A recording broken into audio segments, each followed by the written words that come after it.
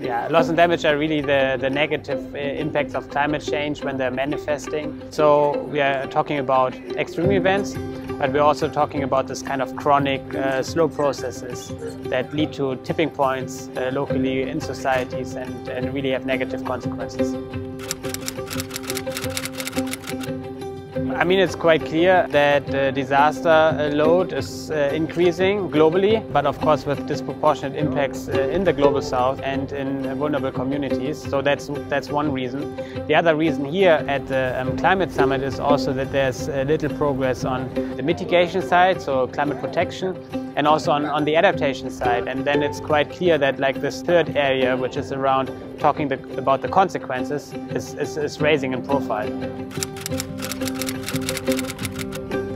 Loss and damage, the conversations, I think they also have to include disaster aid, but it's really also a question on what is the role of the international community, uh, what is the role of the climate regime, and so how can, for example, the climate finance work together with disaster uh, and humanitarian actors. And so far this linkage is not, not created and that's what the loss and damage discussions need to deliver. Secondly, there's also the conversation around what I call chronic impacts um, and that's not something that is easily picked up by the disaster community and um, that's also something that um, actors seek to get out of the loss and damage conversations.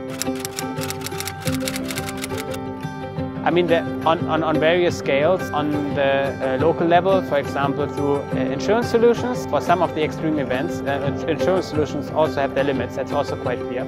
Also, for example, um, saving schemes.